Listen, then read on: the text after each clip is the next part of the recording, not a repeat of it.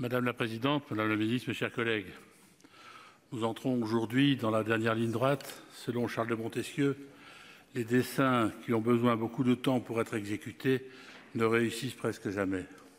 Bien au contraire, à 18 mois seulement du début des Jeux, nous sommes donc dans d'excellentes dispositions pour faire de ces Jeux olympiques et paralympiques une belle réussite. Au-delà de la boutade, je salue votre engagement, madame la ministre, car vous ne ménagez, ménagez pas vos efforts pour préparer ce grand événement. Ce projet de loi prévoit de nombreux ajustements visant notamment à accorder notre droit national au contrat conclu avec le CIO pour accueillir les Jeux en France. Nous attendons collectivement cette échéance avec impatience. Ce texte apporte tout d'abord des mesures concrètes et novatrices en matière de lutte contre le dopage. On ne peut que s'en féliciter. Malheureusement, les auteurs de pratiques dopantes ont bien souvent une longueur d'avance sur le législateur. Ce texte autorise notamment les textes génétiques. La période qui suivra la fin des Jeux permettra de tirer tous les enseignements de cette pratique nouvelle. Je salue tout particulièrement l'ajout en commission de dispositions visant à rendre obligatoire la vente de billets d'accès infalsifiables pour les épreuves. Cela était justement l'une des propositions phares du rapport des présidents de la commission de la culture et de la commission des lois dévoilé en juillet 2022.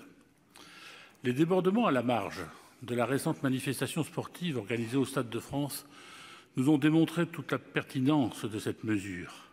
Madame la ministre, cet ajout permettra, et nous l'espérons, de sécuriser l'accès aux jeux et aux zones de billetterie. Je souhaite également m'attarder sur les Jeux paralympiques. Ces épreuves vont bien au-delà du sport et de la performance individuelle, tant elles véhiculent des valeurs essentielles d'inclusion et de partage. La pratique de l'handisport ouvre aux autres, donne confiance en soi, permet aussi de retrouver une certaine autonomie. Nous devons veiller collectivement à leur donner la plus grande visibilité possible et célébrer fièrement les quelques 4400 sportifs athlètes qui s'affronteront à partir du 28 août. Je salue à ce titre l'implication sans faille de la Fédération française handisport, des clubs et associations sportives. Les Jeux olympiques représentent aussi un formidable défi sécuritaire. Les grands rassemblements de personnes sont particulièrement menacés par le terrorisme. Nos services de sécurité sont mobilisés pour faire face à cette menace. Nous nous félicitons que ce projet de loi renforce leur efficacité, notamment à travers la généralisation du criblage qui resserre les mailles du filet et assure une plus grande sécurité à nos concitoyens.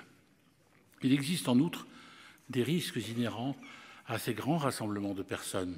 Les mouvements de foule peuvent se révéler particulièrement dangereux. Pour les prévenir, le projet de loi autorise la mise en œuvre de technologies novatrices afin de détecter les signes avant-coureurs de telles catastrophes. Nous saluons aussi la grande implication de la CNIL dans le développement de ces outils. Celle-ci augmente encore les garanties apportées par ce texte en matière de données à caractère personnel.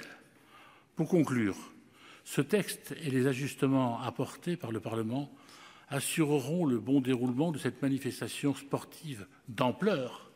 Nous devons tenir le sprint final pour offrir une vaste célébration des valeurs du sport à nos concitoyens et aux 4 milliards de personnes qui suivront avec passion les Jeux aux quatre coins du globe. Je m'en remets désormais à la célèbre devise olympique qui a déjà été citée partiellement, Situs, Altus, Fortus, communautaire. C'est dire plus vite, plus haut, plus fort, mais ensemble. Espérons qu'elle guide les athlètes de l'équipe de France dans ces derniers mois d'intense préparation physique et mentale. Je vous remercie.